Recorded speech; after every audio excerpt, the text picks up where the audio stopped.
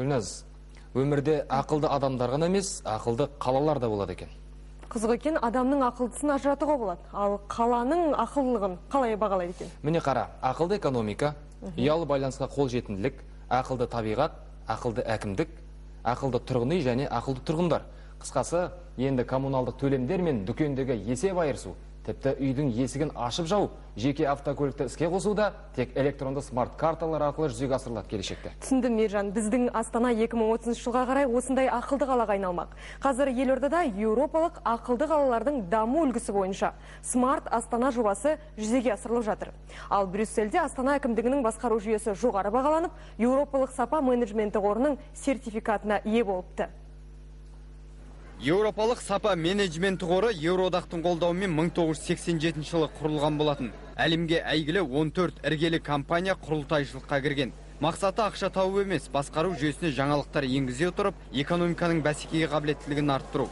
Сол себепті мұндаға дейін қордың сертификаты тек коммерциялық кәсіпорындарға беріліп келді. 2008 жылдан бері мемлекеттік органдардың жұмысын бағалау басталды. Бірақ бүгінге дейін еліміз түгіл тмд кеңістігінде бірде бір мемлекеттік құрылым бұған қол жеткізе алмай жүреді. Мінекей тәуелсіздіктің 20 жылдығында Алаштың астанасы абырой биігінен көрініп, мәртебелі атаққа лайық деп танылды. Для Акимата города Астаны очень почетно. Астана әкімдігі үшін мемлекеттік мекемелер ішінде алғашқы болып еуропалық қордың менеджмент сапасының марапатын иелену әрине үлкен құрмет. Біз еуропалық сапа стандартына сай қызмет көрсетуге тырысамыз. Қор сарапшыларының берген бағасы алдағы уақытта қызметкерлеріміздің жұмысқа деген ынтасын арттырып, бөлімшелердің қызметін жақсартуға ықпал етері сөзсіз.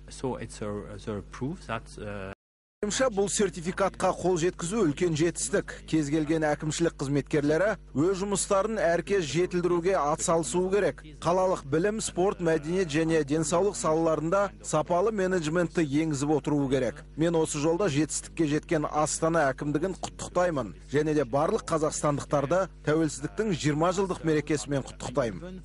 Астана қаласы әкімдігінің сапа менеджментін бағалауға қор мүшелері мен сарапшылар қатысқан. Олар әкім аппараты мен қалалық басқармалардың жұмысын жан-жақты зерттеп шықты. Өздерінің белгіленген 9 талабы бойынша тексерді. Яғни қаланың стратегиялық жоспары, мамандар біліктілігі, қызмет көрсету секілді салалардағы жетістіктер түгелдей назарға алынды. үздік ә, танымал ә, моделі деген Европа сапа қорының моделі бар. Оған осы уақытқа дейін ә, Европаның үш қаласы жеткен екен.